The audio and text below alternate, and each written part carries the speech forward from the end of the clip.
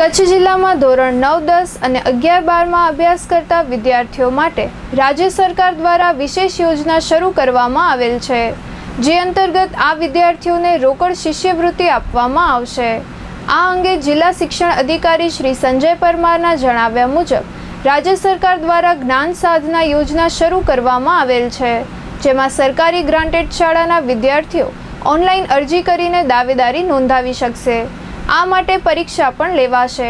અને ધોરણ નવ દસમાં વીસ હજાર રૂપિયા અને ધોરણ અગિયાર બારમાં પચીસ હજાર રૂપિયા જેટલી સહાય શિષ્યવૃત્તિ સહાય ચૂકવવામાં આવશે. આ માટે ગુજરાત શિક્ષણ બોર્ડની વેબસાઇટ ઉપર અરજી કરવાની રહેશે.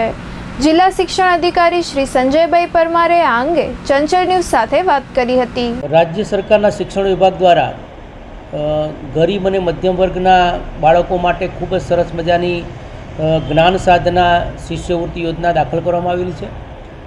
આના અંદર ધોરણ એકથી આઠના અંદર સરકારી ગ્રાન્ટેડ શાળાના અંદર અભ્યાસ કરેલો વિદ્યાર્થી અને રાઇટ ટુ એજ્યુકેશન એક્ટ અન્વયે પચીસ ટકાના અંદર એ આરટી એક્ટ હેઠળ પ્રવેશ પામેલા બાળકો આ પરીક્ષા આપી શકશે.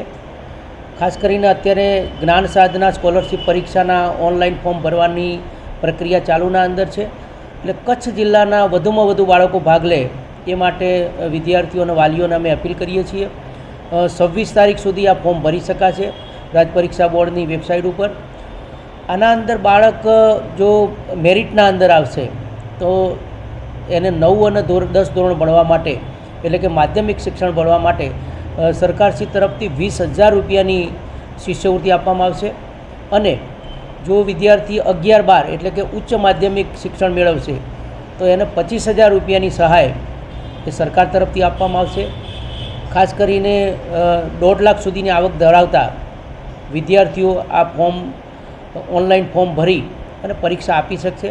ખૂબ સુંદર મજાની આ સરકારની યોજના છે. એના અંદર કચ્છના વધુમાં વધુ વિદ્યાર્થીઓ જોડાય, એવી અપીલ છે અમારી.